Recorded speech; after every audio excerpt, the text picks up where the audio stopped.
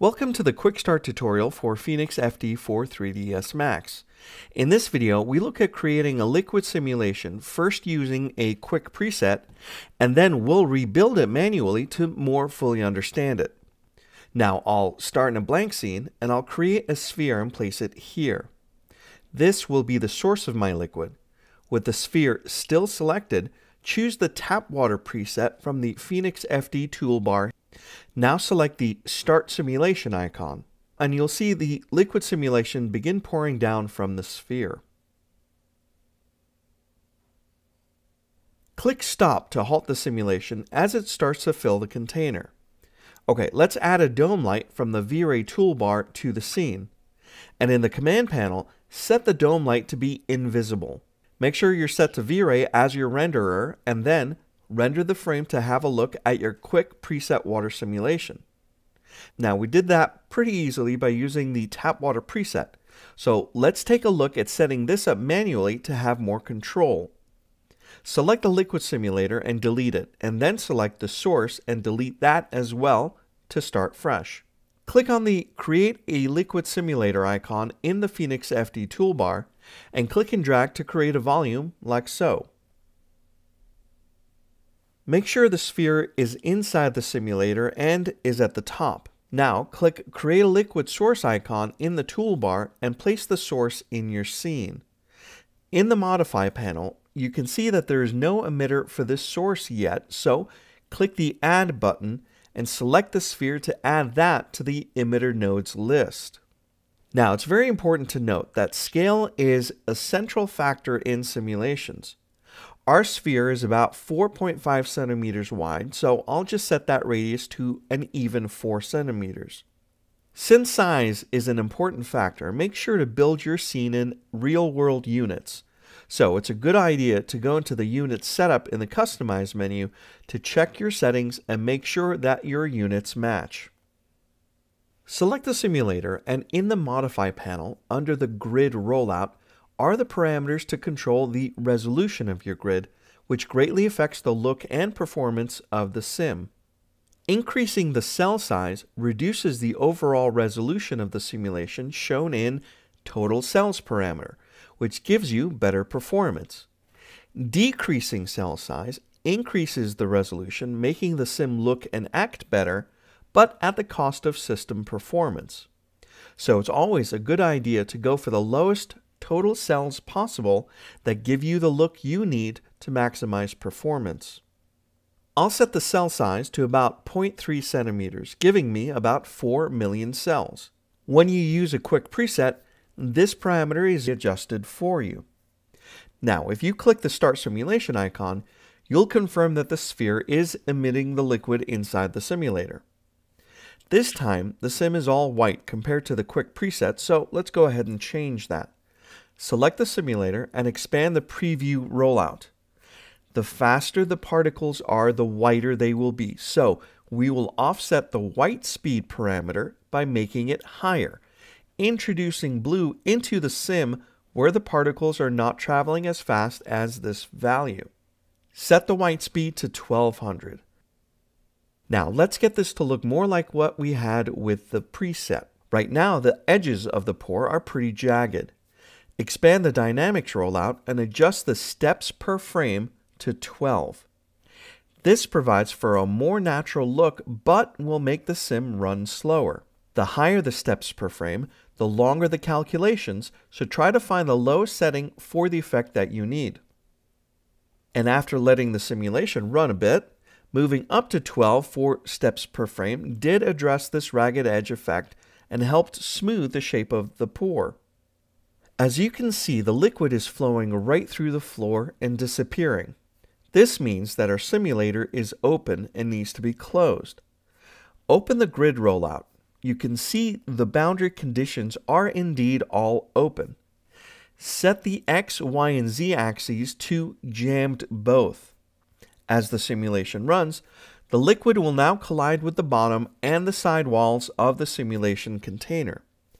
It is, however, running slowly, so we can adjust the resolution to address that. First take note that we have about 4.4 million cells to calculate in the sim, and click Decrease Resolution to halve the number of total cells to make the sim run faster. Stop the sim and click Decrease Resolution two more times to get about half a million cells. You can also set the cell size parameter directly to affect the resolution.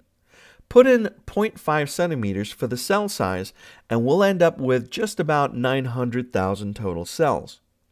Start the sim again and you'll see it's running much faster. Click to the Dynamics rollout and set the steps per frame to 1 to speed up the sim even more. Now feel free to experiment with different settings and when you're done, go ahead and stop your sim. Render the result and you'll notice that the water is a solid purple color. Open the Slate Material Editor and drag in a, a new V-Ray material. Double click it to see its parameters and set the diffuse to black. Then set both reflect and refract to white and then enter an IOR value of 1.33 for water. Now you simply assign the selected material to the simulator, and we should get a better water look when you render a new frame. Now, of course, feel free to adjust the material and the lighting in the scene to achieve the look that you're going for. Now, let's look at how to make this liquid collide with and fill an actual object rather than just the simulator's box shape. Here I have a scene with a jar in the studio lighting setup with a background. This file is provided in the tutorial's downloaded assets shown below. Switch your view to PhysCam001 to see what we'll be rendering. Back to perspective view and select the sphere. In the Phoenix FD toolbar, choose the Tap Water Quick preset just like we did before. It creates the simulator, but we need to adjust it. Use the X, Y, and Z size parameters to size the simulator shape to have a little space between it and the jar and then move the container down around the jar like so.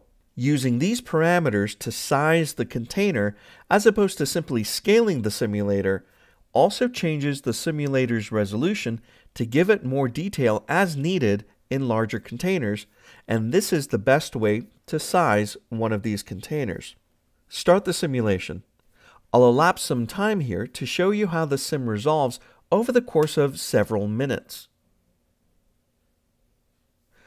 Go back to your camera view. Open the slate to create a material for the water. Create a V-Ray material just like we did in the last part of the tutorial. Make sure the diffuse is black, that reflection and refraction are both white, and that you set the IOR to 1.33. Create another V-Ray material for the glass jar. Make sure you set the diffuse to black and reflection and refraction are both white, but this time leave the IOR to 1.6. Select the glass part of the jar and assign this material. Render a frame to see how the fluid is interacting with the jar. Any geometry inside a simulation container will automatically interact with the emitting fluid. You can, of course, exclude geometry from interacting, and you can even create non-solid geometries, which are geometries that a simulation can flow through, but still be used as a source or a force acting on that simulation. These we will discuss in upcoming videos. Now the sim will eventually overflow the jar. So select the liquid source object and look at the outgoing velocity parameter. This sets how much fluid is being discharged by the emitter, and so animating this value will control how much liquid is being created, like when you need to start and stop the pour. Select the simulator and click the Decrease Resolution button three times to have a resolution of about 1.6 million cells. Scrub your timeline back to the start. Now we're going to be animating the pour to look like this rendered result. So at the beginning of the scene, select the source and set the outgoing velocity to zero, meaning nothing will be emitted even if you start the simulation. Now set the outgoing velocity to 16 and then scrub ahead to frame 23 and then click the auto key button to turn it on. Enter 0 for outgoing velocity at frame 23. So now our outgoing velocity is keyed at 16 at frame 0, and I'll click and drag that keyframe over to frame 20 so that the liquid stops pouring between frame 20 and 23. Turn off Auto Key. Go back to the beginning and start the sim. I'll elapse time here again to show how the simulation resolves over several minutes, and then I'll stop the simulation.